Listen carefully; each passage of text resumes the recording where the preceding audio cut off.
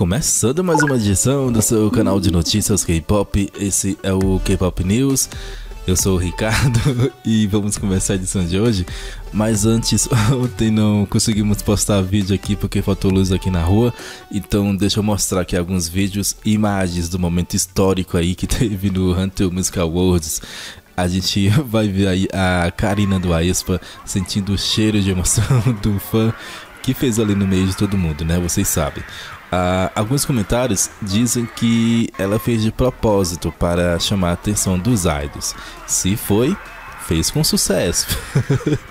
e dê sucesso nisso aí, né? Nota 10 para Existem mais imagens com, com os idols tampando o nariz e eu vi que muita gente não estava acreditando na, na história, né? E acredito que seja por causa dessa imagem aí, ou por causa de algumas coisas, mas deve ser por causa dessa imagem aí, onde alguns portais haviam noticiado sobre o assunto e postado essa imagem aí. Mas só que essa imagem aí é de 2017. Aí, para relacionar ao assunto, eles destacaram aí essa imagem. Eles colocaram um borrão também na imagem. E realmente dá para você pensar que era sinais do crime aí, né? só que não é não era apenas um cabelo no chão e eles colocaram aí a, a, o borro para poder vocês pensarem que era aí uma bosta, um cocô no chão. Mas na verdade não. Pode até que ser que existam imagens reais aí do caso, mas eu não consegui achar até esse momento. Apenas a reação aí dos idols. Que situação, hein? e uma outra situação constrangedora que o idol aí do grupo Tempest teve que passar foi pedir desculpas por ter ido a uma balada Pois é, já teve outros idols aí que já pediram desculpas por ter saído. Isso não é novidade, mas é novidade aí as fanbases sair por aí falando que é um absurdo o idol pedir desculpas. Mas, ué, não são essas mesmas fanbases que cobram pedidos de desculpas de diversos idols por apenas estar vivendo suas vidas ou por estar namorando? Ou será que elas acham absurdo porque o idol não pediu autorização a elas? É, contém indireta mesmo, viu? Mas essa cultura de pedir desculpas por namorar alguém, por sair em determinado lugar ou outras coisas parecidas é coisa de fã que cobra coisas do qual não importa para eles.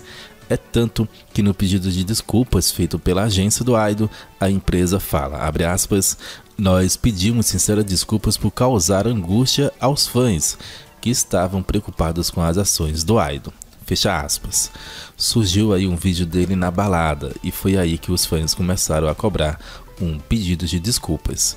E saiu, mas dessa vez não teremos fanbases sendo fechadas por causa do idol ter ido a uma balada.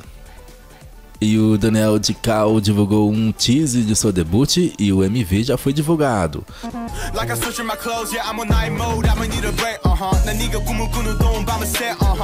A mídia coreana diz que um ex-membro de um grupo masculino na casa dos 30 anos foi processado por fraude. As alegações decorrem de um suposto esquema de investimento, onde o idol é acusado de pegar emprestado quase 100 milhões de won, cerca de 74 mil dólares, de seu conhecido, entre junho e setembro de 2022. No entanto, o acusado não teria reembolsado a quantia. Ao não conseguir contato com o idol, a vítima apresentou uma queixa à polícia em novembro de 2023, iniciando aí um processo judicial. A polícia concluiu a investigação confirmando as acusações de fraude e transferiu o caso para acusação em 15 de fevereiro. Ainda não foi revelada aí a identidade da pessoa. E o grupo New Jeans e o Idol do Seventeen são selecionados aí como novos modelos da Calvin Klein.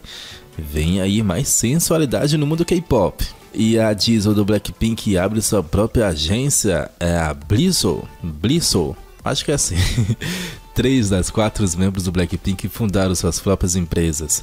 A Jennie com Oda Atelier, acho que é assim também, a Lisa com Load e a Diz agora com a Blizzle. Fãs brinca e faz pôster com o anúncio do ATEEZ no Brasil.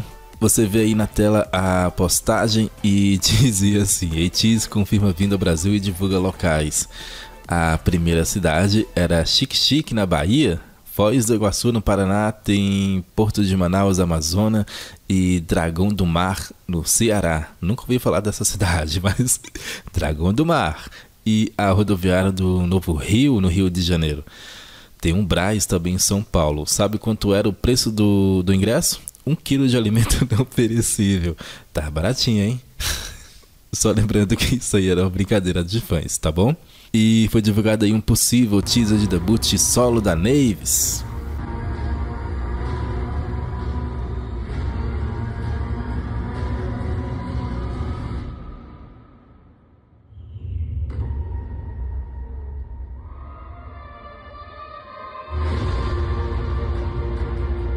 Bom, era isso que eu gostaria de trazer hoje. Agradecer a sua audiência. Se inscreva aí no nosso canal, curta aí nosso vídeo.